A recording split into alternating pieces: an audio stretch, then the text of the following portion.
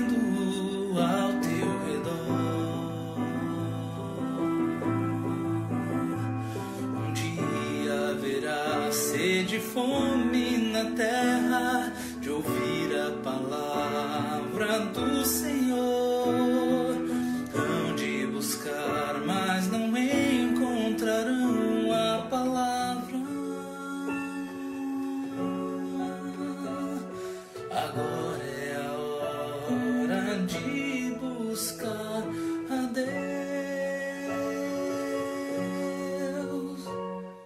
Portanto, te alimentes de Jesus. Porque desprezais, porque desprezais o alimento.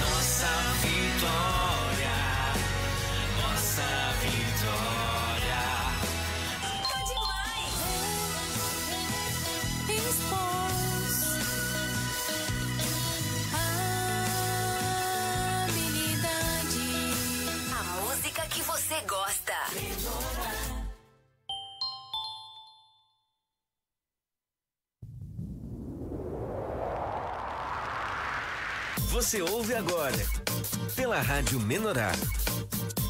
Programa Vida em Abundância. Programa Vida em Abundância. Bom dia, queridos ouvintes e simpatizantes da Rádio Menorá. Hoje é então dia 27 de novembro, né? São 10 horas e um minutinho aqui Eu queria dar um bom dia a todos que estão aqui conosco. Tenhamos uma excelente segunda-feira, um início da semana com muita programação. Essa semana aqui teremos novos quadros, novos temas nos quadros, né? Translado para paz, economia divina, crescendo em vida, uh, da visão. Durante toda a semana teremos temas novos, então que você possa acompanhar a programação, o programa Vida em Abundância, às 10 horas pela Rádio Menorá. Queria dar um bom dia aí para quem está nos acompanhando pelo Facebook, que é para todo mundo, né? Com permissão aí da internet. O aplicativo Pão de Judá, para quem está pelo YouTube, também pela TV Menoral, o canal da TV Menoral no YouTube. E o pessoal aqui do Rio de Janeiro, que acompanha a rádio, sintoniza ali na 90.7 Musical FM. Já tivemos aí notícia de muitas pessoas acompanhando a transmissão, né? Sintonizando na 90.7. A mãozinha de Deus lá colocando uh, na pessoa ali para poder sintonizar na 90.7, que bênção.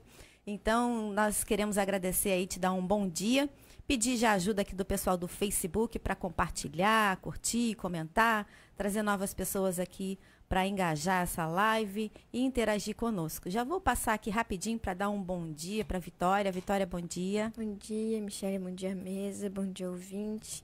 Que Deus nos abençoe nesse programa. Isso aí, bom dia, ministro. Estamos hoje aqui com o ministro Sérgio Alves, a participação dele aqui hoje no programa. Bom dia, ministro. Bom dia a todos aí do estúdio, os convidados especiais aqui. Bom dia à nossa audiência do programa. Que Deus abençoe a todos. É isso aí. Então, no nosso primeiro quadro, nós vamos compartilhar aqui com a mesa, com o ministro, sobre a mensagem, a sexta mensagem de hoje, né? Que foi o seminário A Visão do Corpo. E hoje tivemos uma mensagem chamada Há um só batismo, então nós vamos compartilhar. E no segundo bloco, então, teremos a participação do ministro aqui com o quadro Fatos Bíblicos sobre a serpente de bronze, que está em Números 21, do 4 ao 9. Fica conosco aqui, não sai daí, a gente volta já já depois dos nossos intervalos comerciais. O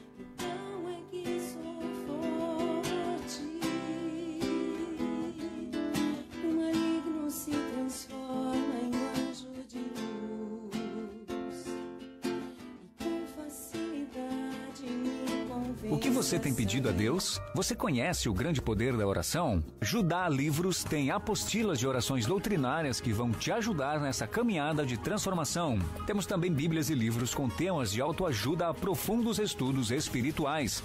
Entre em contato e conheça nossos produtos. Fone 51996962678. Enviamos para todo o Brasil. Judá Livros, levando o poder de Deus para você. Reino do Céu Assistência Técnica de Celulares. Serviço de troca de tela, troca de baterias, desbloqueios, películas e ainda capinhas de celular. E muito mais. Avenida Engenheiro Colombo Machado Sales, número 18, bairro Magalhães, em Laguna, Santa Catarina. Fone 48998060616. Reino do Céu, facilitando a sua vida. Levanta-te vento norte, vem tu, vento sul. Assopra no meu jardim para que se derramem os seus aromas. Igreja do Senhor Jesus Cristo, em Ouro Fino, Minas Gerais. Cultos aos domingos às 10 horas e às quartas-feiras às 19 horas. Você é nosso convidado. Rua Joaquim Chavasco, 203, bairro São Judas. Fone 359-3505-9761. Ministério Vento Sul. Investindo no reino de Deus. A Boutique dos Vestidos é uma loja especializada em vestidos para ocasiões especiais, casamentos, formaturas, madrinhas e eventos sociais. Trabalhamos com vestidos que vão do tamanho 36 ao 54. Estamos na rua Cristóvão Colombo, 446, em frente ao Shopping Total, em Porto Alegre. Fone 51981612111. Siga-nos nas redes sociais. Boutique dos Vestidos, um universo de vestidos esperando por você. Ótima Rações, empresa especializada em nutrição animal, localizada em Maria da Fé, Minas Gerais. Trabalhamos com farelo de soja, milho moído, farelo de trigo, caroço de algodão, polpa cítrica, sal comum, sal mineral para leite e corte e uma grande variedade de rações. Temos entrega rápida direto na sua porteira. Entre em contato 035 99702 0594. Ótima Rações, qualidade e excelência em nutrição animal. Com anos de trabalho e dedicação, Mac Coatings Tintas oferece a você a melhor solução em tintas industriais. Com laboratório próprio, desenvolvemos, produzimos e comercializamos tintas e vernizes de alta qualidade. Com isso, somos referência no setor moveleiro. Trabalhamos também com tintas residenciais e prediais, com alto rendimento e fácil manutenção. Nossos consultores te ajudarão a transformar seu projeto em algo único. Construímos parcerias duradouras e bem-sucedidas, com transparência e responsabilidade socioambiental, com a certeza de clientes satisfeitos. Faça parte dessa equipe. Seja um representante da sua região. Telefone 549 81 36 96 53. Mac Coatings Tintas, produtos profissionais para profissionais exigentes. Amanda Volt Design de Sobrancelhas, Brown Lamination, Lash Lifting e Micropigmentação. Com técnica exclusiva, encontra o design ideal que realça a beleza e a expressão natural de cada rosto. Entre em contato e agende uma avaliação gratuita. Fone 54991567947. Atendimento em dois irmãos. Amanda Volt, renovando olhares. Procurando qualidade, ótimo atendimento e o melhor preço? O Mercado de Açougue BM é o endereço certo. Carne fresquinha, pão quentinho e tudo o que você precisa para fazer seu rancho. E ainda, com entrega grátis. Siga-nos nas redes sociais e acompanhe as promoções. Fone 54991944543. Rua Portugal, número 234, bairro Eugênio Ferreira, em Canela. Mercado de Açougue BM, sua melhor escolha. BM. Ana Paula da Silveira, revisora e corretora textual. Serviço personalizado de acordo com a sua necessidade. Revisão ortográfica e gramatical, reescrita de trechos para eliminar plágio, acompanhamento do começo ao fim do seu TCC, revisão de traduções, livros e materiais produzidos por editoras, revistas e jornais. WhatsApp 49984055831. Ana Paula da Silveira, confiança, eficácia e credibilidade.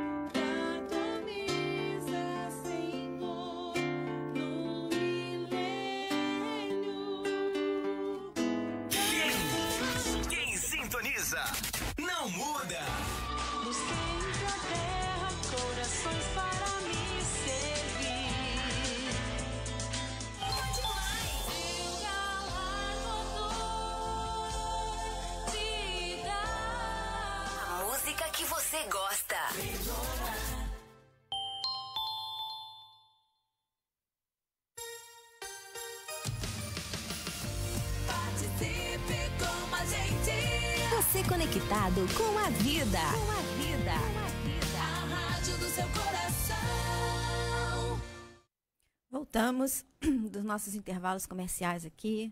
Estamos com a Vitória, o ministro Sérgio Alves e a Dani Menezes aqui conosco para passar para vocês essa programação de hoje, segunda-feira, compartilharmos sobre o seminário, depois sobre os fatos bíblicos no segundo bloco.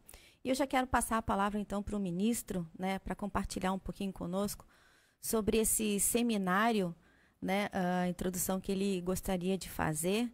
E também eu teria, tinha uma questão aqui que eu queria colocar para o ministro a respeito de que eu ouço muito as pessoas comentarem eh, quando você vai perguntar se ela é batizada, ela diz: Ah, eu sou, pela, eu sou pelas águas, mas não pelo Espírito Santo. Fazem uma confusão.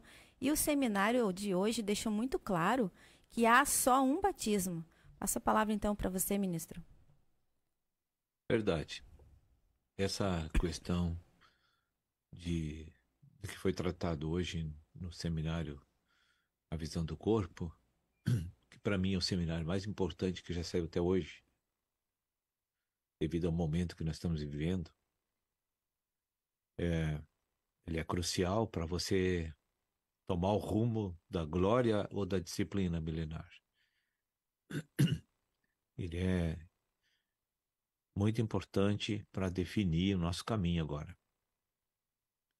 Agora, é, a nível de, de batismo, né, sempre foi um problema de as pessoas não terem um entendimento é, real do que, que significa o, o, um só batismo, né?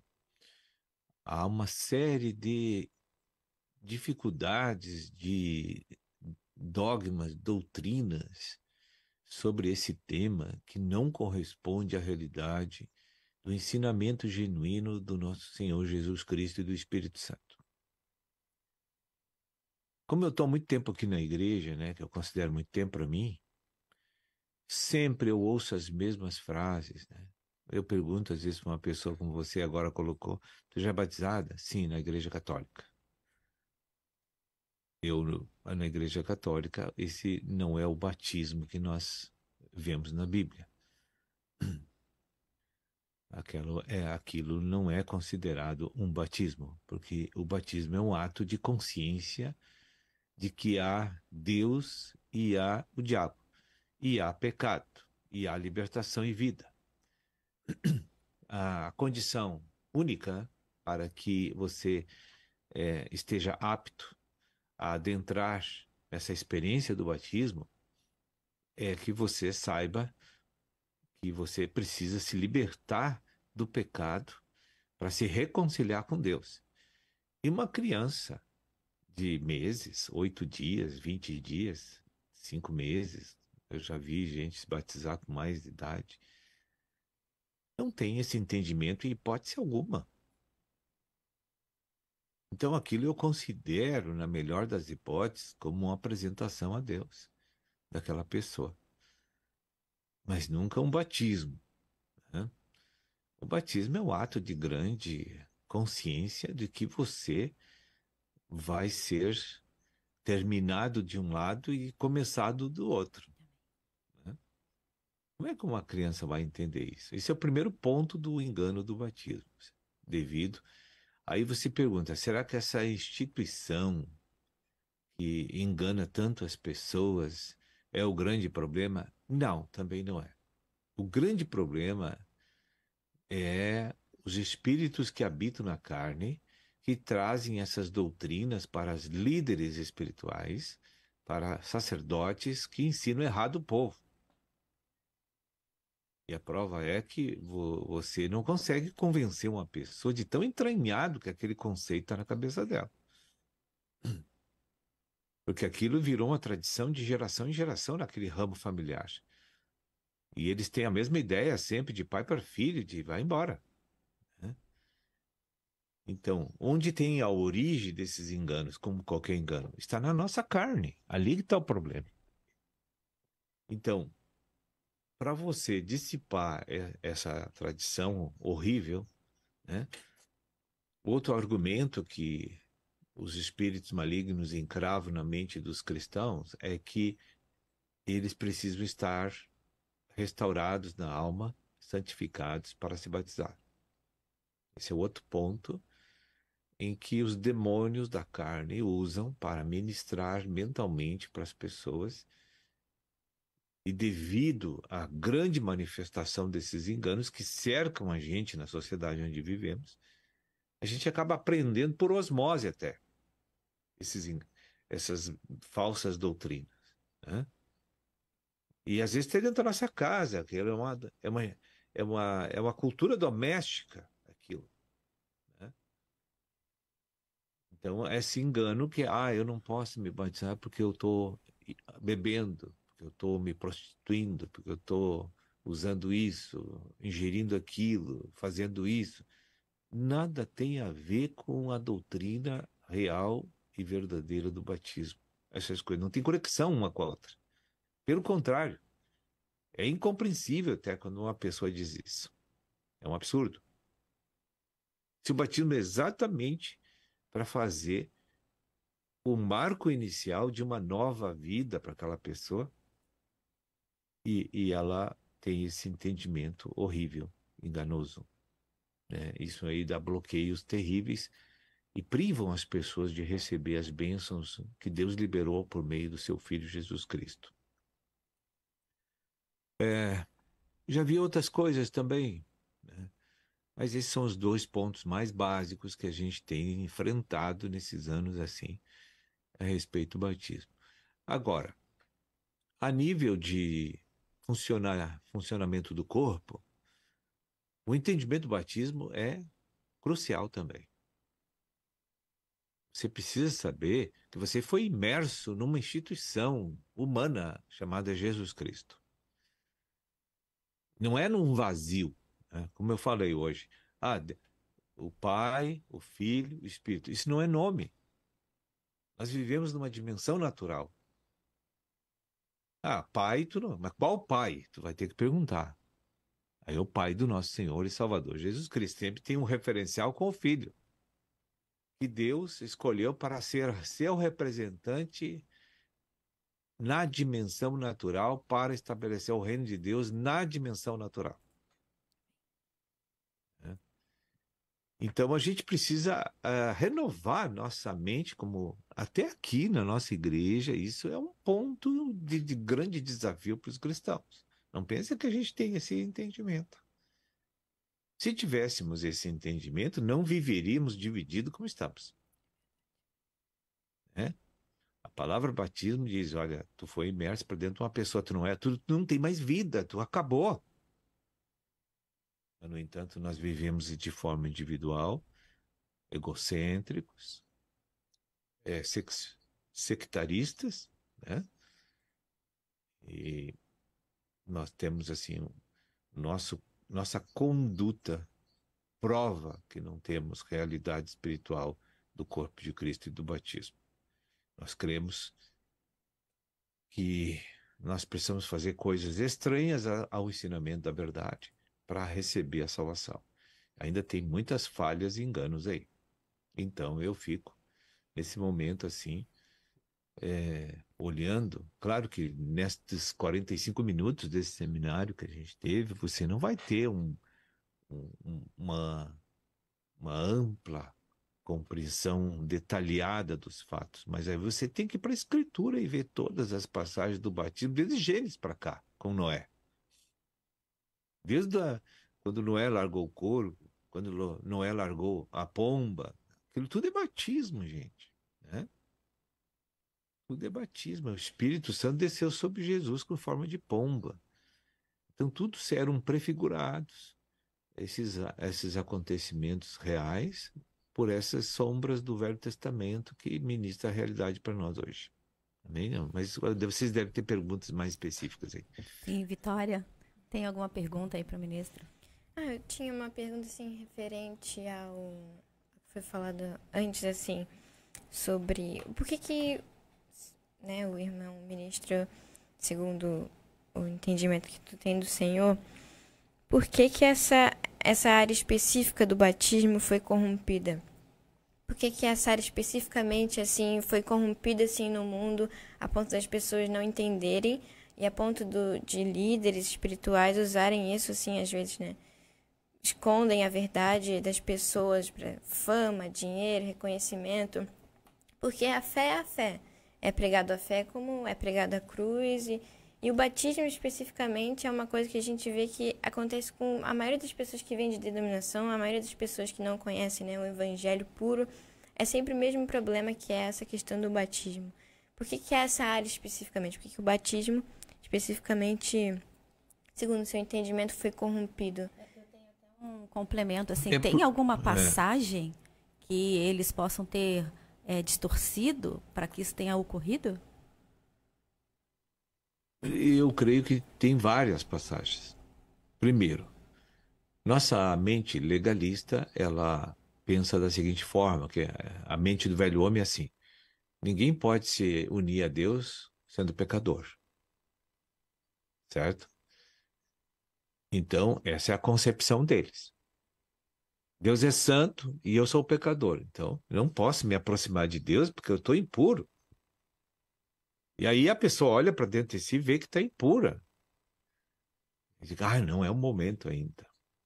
Entende? E isso obviamente tem uma origem ministrada internamente, subjetivamente na, na mente daquela pessoa, tanto externo como interno, que aquilo é uma verdade. Deus é santo, Deus é puro, não vai te querer. Para, sai para lá que tu tá sujo, pecador. É? Até as pessoas na igreja que são legalistas, quando entram novinhos na igreja, eles não sentam perto porque eles não querem se contaminar. É, é a mesma É mensagem de terça-feira que foi ministrada, que a gente, a- nós é que, é, como é que foi a palavra? É, definimos o que é pecado e o que não é dentro da igreja, né? Isto classifica, Classifica, exatamente. isso. Nós temos, somos expertos em, em definir níveis de pecado, intensidade de pecado. Só que esse é outro engano que tem na igreja muito grande, além do batismo, né? Esse é outro engano muito grande. E a Vitória colocou isso aí agora. É, Eu creio que é por causa dessa questão da, do diferencial de vida e santidade com pecado e impureza. A gente se sente sujo. Aí o Satanás pegou esse ponto para nos afastar de Deus e atrasar a obra de Deus. Foi bem na parte mais importante, né? Porque nos priva da salvação, né? Porque as Sim. pessoas são. Diz lá em Marcos, né? Se você tiver fé, se você for batizado. As pessoas hoje só têm né, fé. E elas são, É estão sendo isso- privadas de uma, da salvação, né? Vão pro inferno. Todo mundo. É, veja bem, quando uma pessoa pro- professa a fé em Jesus, ela é salva. Hum, entendi. Agora, não tem nenhuma lógica, nem um sentido verdadeiro de espiritual uma pessoa dizer que Jesus é Senhor e não quer entrar para dentro de Deus, entende? Como é que uma pessoa vai rejeitar Cristo, diz que aceita Cristo e rejeita Cristo, não quer se batizar? Ela não entendeu nada. Então, talvez seja um- uma fraqueza nossa na igreja de não saber expor com, com cristalinidade as coisas, assim, de, de forma que as pessoas venham captar e tocar a verdadeira luz do Senhor. né? Talvez nós também sejamos falhos no transmitir a verdade sobre esse tema. Tá certo. Muito edificante, né? Espero que tenham é, essa mensagem, complemento aí da visão do corpo de hoje. Tenha santificado, tenha.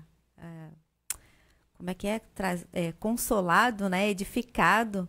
Aqui a gente recebeu bastante coisa. Nós vamos para o intervalo comercial e nós voltamos daqui a pouquinho é, com o ministro, com a Dani, com a Vitória aqui sobre os fatos bíblicos. Não saem daí. A gente volta já já. É Jesus.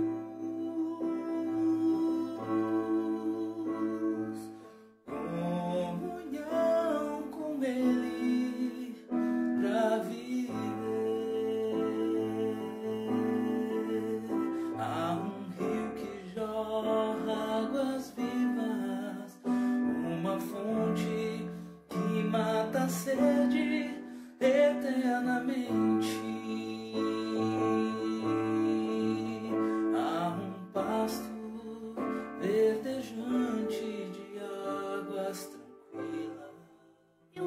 Elviretes, é com grande satisfação que informamos nosso novo endereço situado em local de melhor acessibilidade aos nossos clientes. Com instalações modernas, atendimento de alto padrão, passamos a atender na rua General Arcida Rocha Nóbrega, 1214, Sala 2, Madureira, Caxias do Sul, Rio Grande do Sul, em frente ao Hospital do Círculo. No novo espaço, contamos com cabeleireiras, coloristas, maquiadoras, manicures, massoterapeutas e esteticista, além do convênio com estacionamento ao lado, garantindo e melhorando ainda mais o ótimo atendimento que é marca registrada da Elvira Perucas e Mega Hair.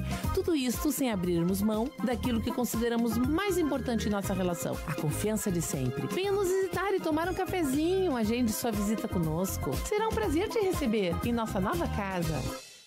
Um ambiente agradável faz toda a diferença. Conheça Renovar, instalação, higienização e manutenção do seu ar-condicionado e manutenção em máquinas de lavar roupas. Temos também pré-instalação para projetos comerciais e residenciais. Atendimento em Gramado, Canela e região. Ligue agora e agende uma visita. 54991288561. Renovar, o clima ideal para você.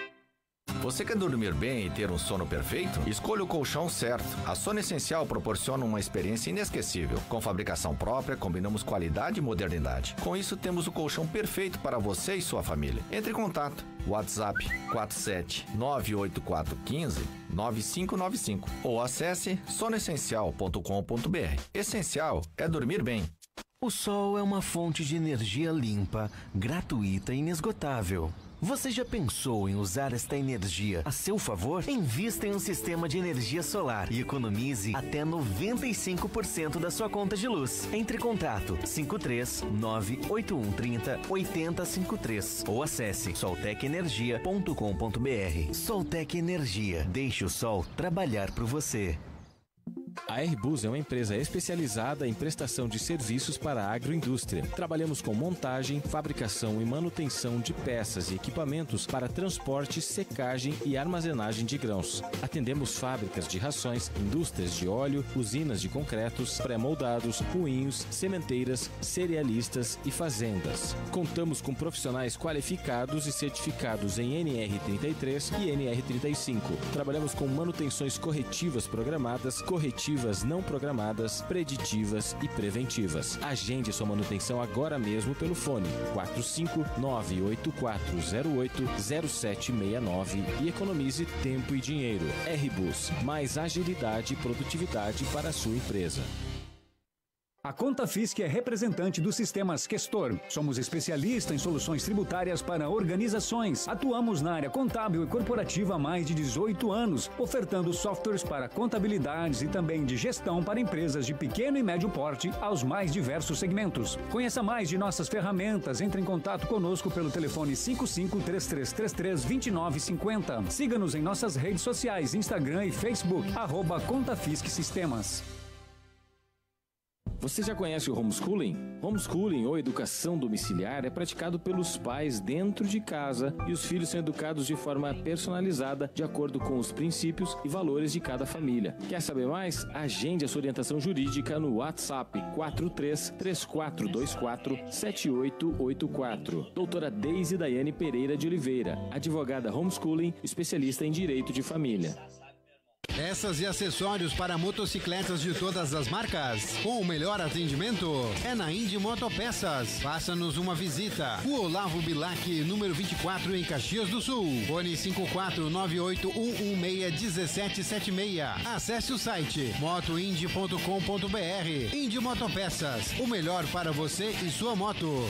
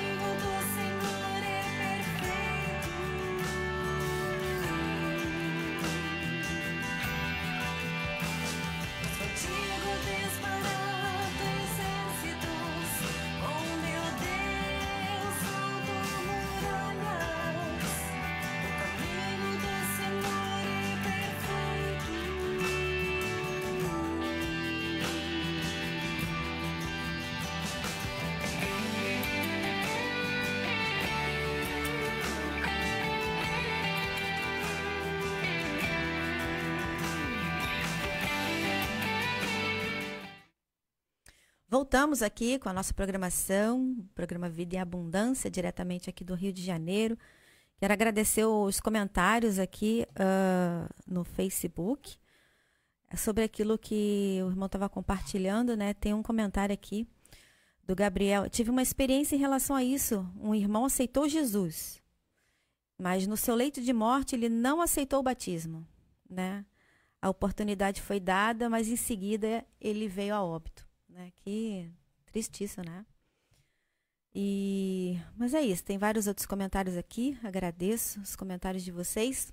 E eu queria aproveitar agora e dar um bom dia aí para Dani, que a gente ainda não deu um bom dia para ela. Cadê a Dani? Bom dia, Dani.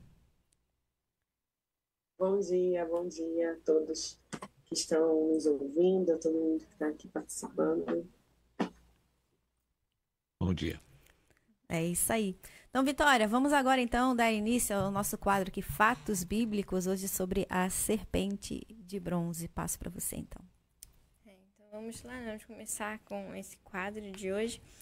Eu queria começar, né? Eu creio que o ministro vai explicando cada detalhezinho, né? Mas eu queria começar com uma questão assim. Hum, eu fui lendo né, a passagem e foi me remetendo, tudo me trazendo a, ao processo que aconteceu com Cristo, né? Cristo, a ressurreição dele, a, o que ele trouxe pra gente, né? A reconciliação com Deus. Eu fui vendo que tudo foi batendo, né? Com a realidade de hoje, né? E eu queria perguntar para o ministro, assim, por que que, qual foi a intenção de Deus é, querer passar isso, algo que iria acontecer no futuro? O que, que ele queria representar, o que, que ele queria mostrar, né? Trazer para aquelas pessoas uh, naquele momento ali, algo que iria acontecer ainda, né? Sim. É como eu sempre digo, né? Tudo que aconteceu no, no Antigo Testamento são ministrações por meio das experiências de Deus com seu povo de Israel para ministrar verdades, realidades futuras que viria após é, viria após ressurreição de Cristo, né? Vida e ressurreição de Cristo. Então, o povo tinha lei naquele tempo. A lei mata, ela não salva. Ela condena. A lei não veio para salvar. A lei veio para expor os nossos pecados e tentar despertar interesse e desejo na alma das pessoas de que tinham que ter aumentar a esperança em Deus que prometeu em Gênesis a salvação. Lá no capítulo 3, né? E do descendente da mulher vai nascer um que vai esmagar a tua cabeça e eu vou salvar o meu povo. Então, a, Jesus já foi profetizado em Gênesis, no capítulo 3. Então, ali no deserto, o povo era um povo pecador e um povo que começou a receber os ensinamentos de Deus. Então, é, foi feita uma serpente de bronze que tipifica Cristo como cordeiro que tira o pecado do mundo. E aquilo era uma simbologia de que todos que tinham fé que a salvação vinha de Deus eram perdoados daqueles pecados e, e livrados da, das serpentes, né? Então todos que olhavam ali, contemplavam aquela serpente, porque bronze significa a obra redentora de Cristo.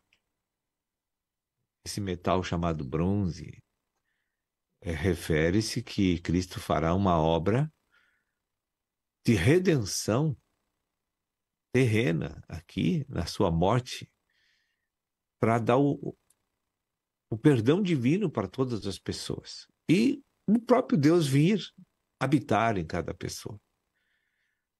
Então, primeiro, o sangue justifica-me perante Deus como o pecado perdoado.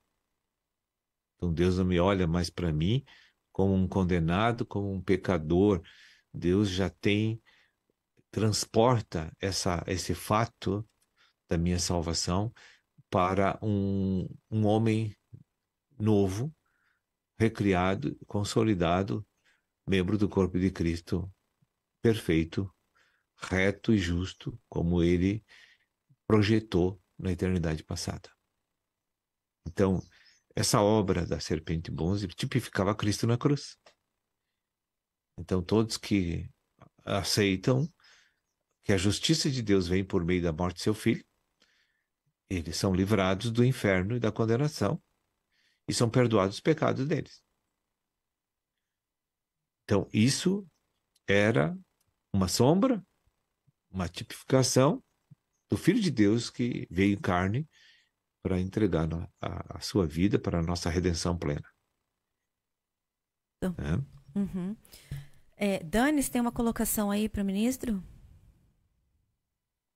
Pergunta? Eu fiquei pensando, assim, eu fiquei pensando sobre essa questão, né, é, da, da nossa razão, o quanto, o quanto Satanás ele faz a gente pensar demais.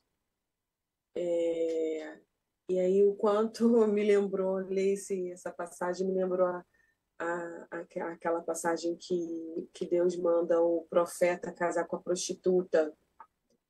Então, assim, eu duvidaria se Deus realmente estava me dizendo que era para fazer uma serpente, né? E para colocar. Então, assim, como é uma linha tênue, a gente, a gente discernir de quem é essa voz, né? Porque assim, quando quando Moisés né, viu que o povo fez lá aquela aquela estátua, né, é, para o povo adorar, foi errado. E aqui Deus manda, né? E aí fica, fica realmente um pouco confuso, né? O quanto eu ficaria na dúvida, por exemplo, se Deus me falasse que era para fazer uma serpente ou coisa do tipo, né? Eu fiquei é, bastante é, pensativa nesse sentido, né? Porque a gente vai trazendo é, racionalidade para o que é espiritual e eu vejo o quanto eu vejo isso em mim, né? De trazer essa esse lado racional, né? Quando estava falando do batismo, é exatamente isso, né, que acontece nas igrejas. Tanto é que nos cursos de batismo eles eles investigam a vida das pessoas para ver é, onde estão os pecados e se eles veem que tem pecado, eles não deixam a pessoa se batizar.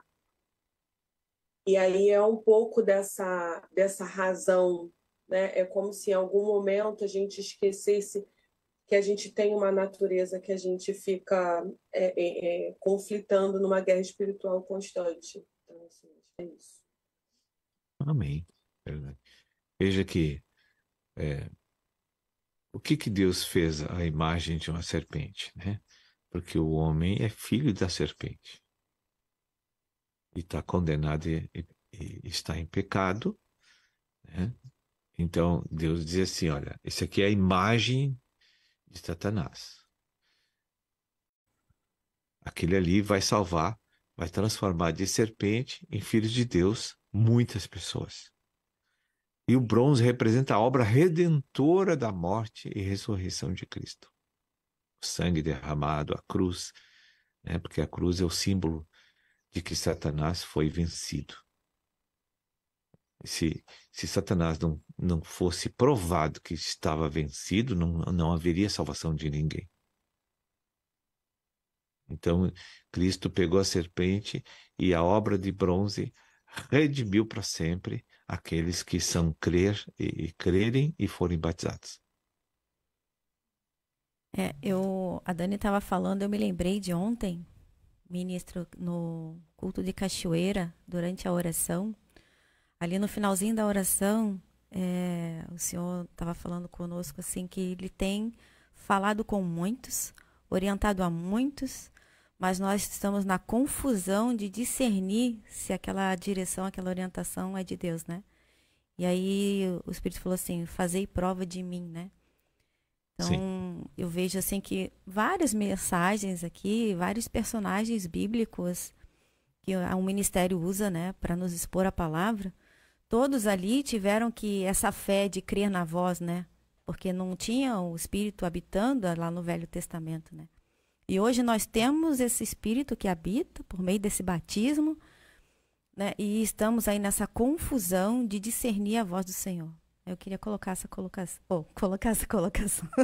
Foi feio, mas colocar isso aí para o ministro. Sim. É, porque o discernimento só espiritualmente que eu consigo tê-lo. Eu, eu, pelas faculdades naturais do, do velho homem, jamais eu consigo discernir é, o que Deus, se é Deus está falando, se não é Deus está falando. Né? Veja que existe o faculdade de teologia, né? Que para mim só atrapalha a nossa compreensão sobre o reino de Deus, né? Mas tem algumas utilidades, talvez, mas eu não vejo nenhuma, na verdade, porque o apóstolo Pedro não sabia nem ler e vai estar lá, vai estar lá na glória com Cristo, né? Não tirou nenhum curso. Então, é, toda a, a obra de Deus é pela fé. E fé, você não precisa é, ser um teólogo para você ser salvo, né? É. Eu, para mim, eu, eu, quando eu contatei a teologia, muitos anos atrás, na década de 90, eu parei logo, porque eu vi que aquilo ia me fazer mal. Eu eu estava bem influ, influenciado assim a fazer uma uma faculdade, uma coisa nessa área. E eu senti do espírito assim um não assim dentro de mim, um desconforto, sabe? Tu vai tu vai morrer na fé. Né? A letra mata, mas o espírito vivifica. Então, eu raciocinei da seguinte forma. Né? Bom, se Deus está dentro de mim, por que, que eu vou precisar tirar um curso de cinco anos? eu vou fazer o seguinte: eu vou ter que descobrir como liberar ele que está aqui dentro e eu vou descansar. Então, isso foi em 92, 93, que eu acho que. Se a, o espírito é fluente e a minha vida agora é Cristo, eu não tenho mais minha vida porque foi terminada no, na, na salvação. Foi quando eu fui justificado pela fé, minha vida natural terminou. Então agora eu tenho que viver meus dias daqui para frente pela vida de Cristo. Então isso não precisa curso. Você só precisa de fé. Né? Então foi bem fácil de entender e de decidir de que Deus estava me dirigindo para ser servo dele e não um expert em história bíblica. Né? Embora eu acho que tenha suas vantagens, os historiadores, é, arqueologia, essas coisas todas, cooperam com muitas coisas, eu até creio. Mas eu não preciso depender, ser governado por Jesus de uma faculdade, é isso que eu quero dizer. Sim. Amém. Vitória, tem mais alguma colocação? Mais alguma pergunta? Ah, sobre. Queria fazer uma última colocação sobre o texto né, da serpente que eu prestei atenção assim que Deus lança as serpentes abrasadoras sobre o povo, né, para eles terem desprezado todo o alimento que Deus, ele eles até dizem, né, que o pão é vil, faixa de, de deste pão vil. E por conta disso, Deus lança sobre eles as serpentes. Logo após, ele pede para Moisés, dessa, dessa mesma serpente, fazer uma, uma, um símbolo, uma, uma estátua, assim, né? Eu fiquei pensando assim, seria isso para representar que era como se Deus tivesse pegado o velho homem, matado, colocado numa estátua e mostrar assim: hoje vocês têm como me contatar, como receber a minha reconciliação por conta disso.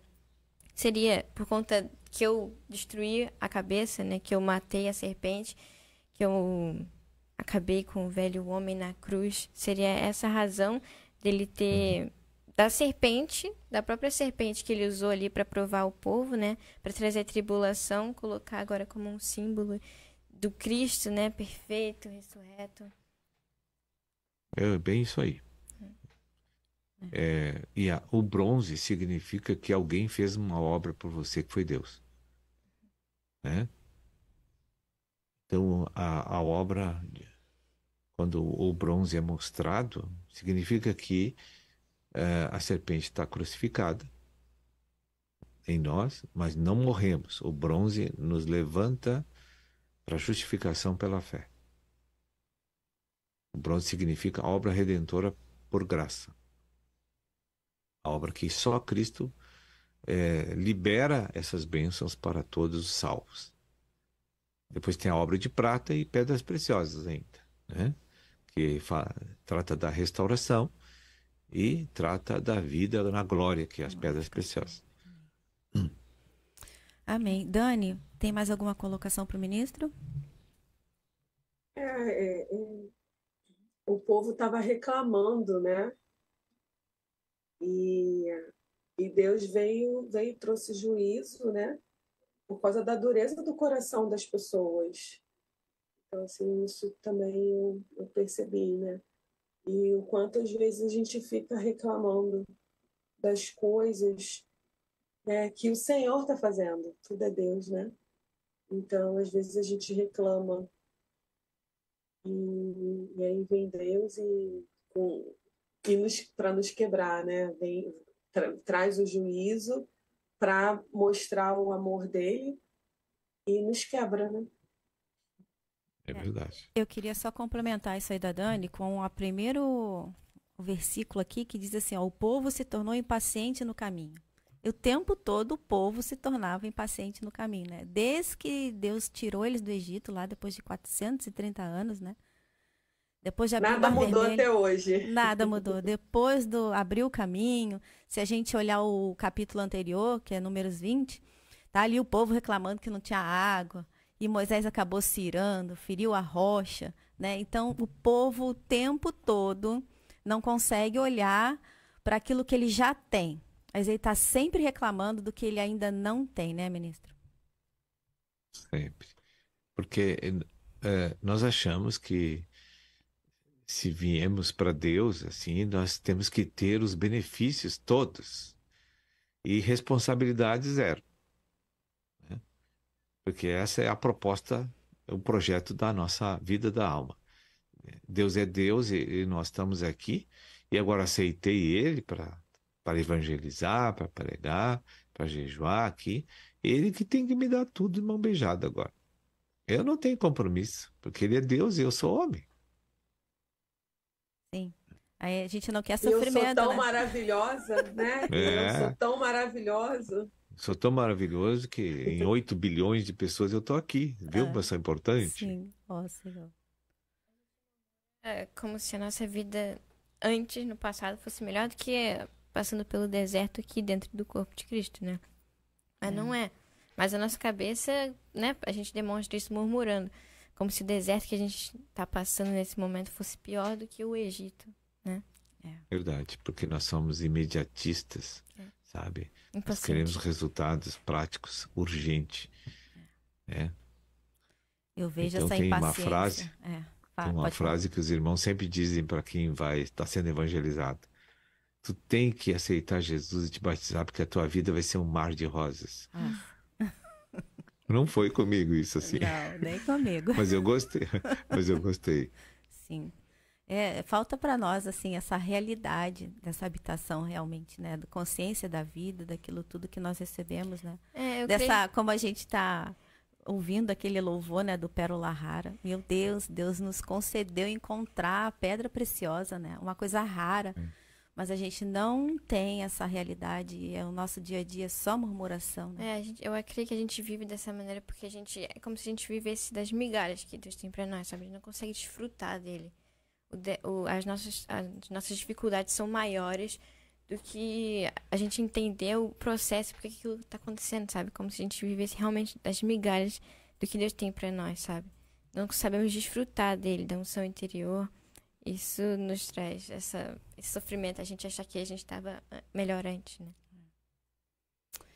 Amém. Amém. É, eu vou passar então para o irmão suas considerações finais aí, irmão, que o senhor quer deixar para nós ainda. Só quero assim agradecer a participação, a comunhão com vocês e com a audiência. Que Deus esteja nos abençoando e nos dando a oportunidade de crescer em vida ainda nesse período final.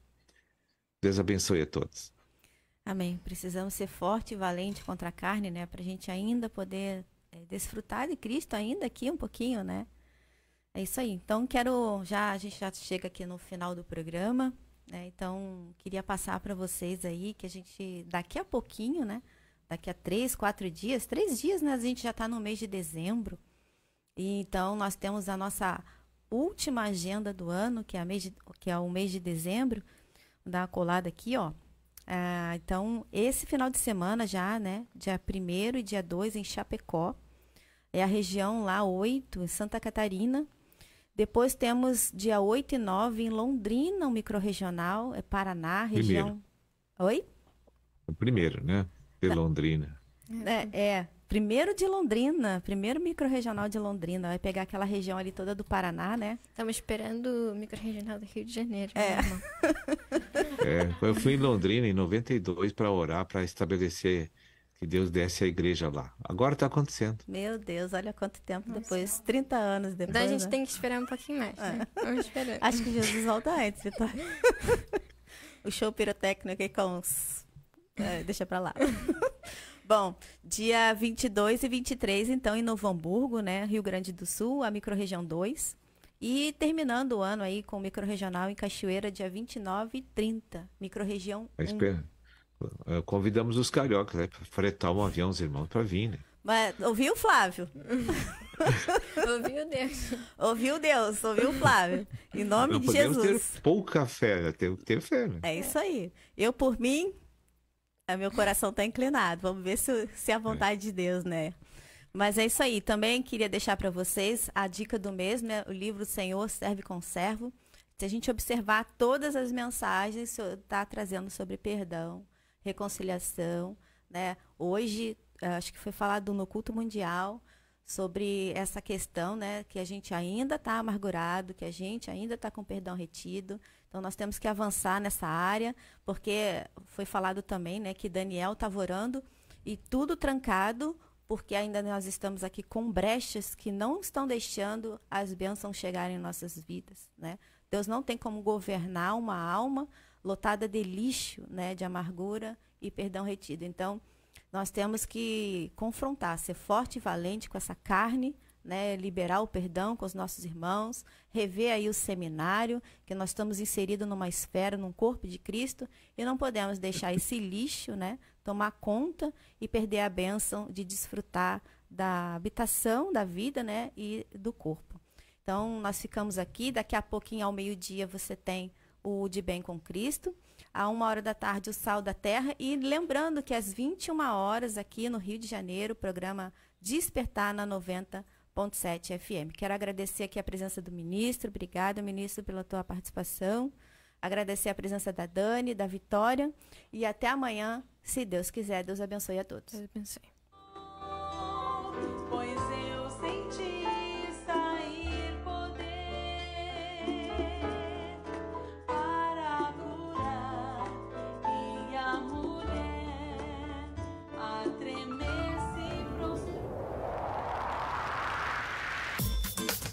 Você ouviu o programa Vida em Abundância.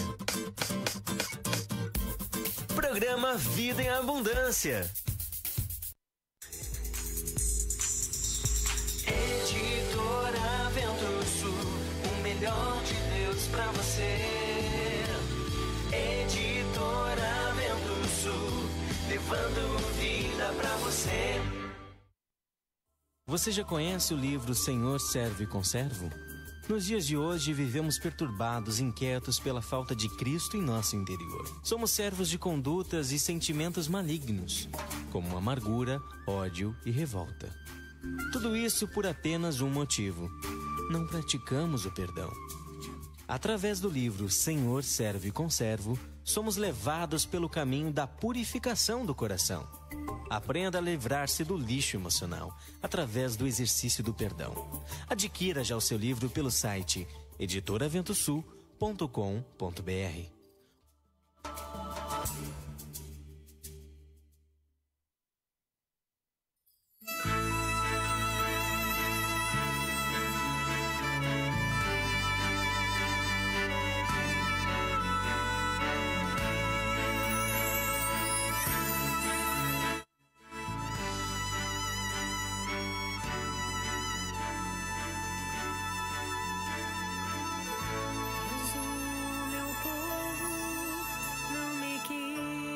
escutar a voz. Israel não me atendeu. Assim deixei-o andar na teimosia do seu coração. Siga os seus próprios conselhos. Mas o meu povo não me quis escutar. Israel não me atendeu. Assim deixei-o andar na teimosia do seu coração. Siga os seus próprios conselhos.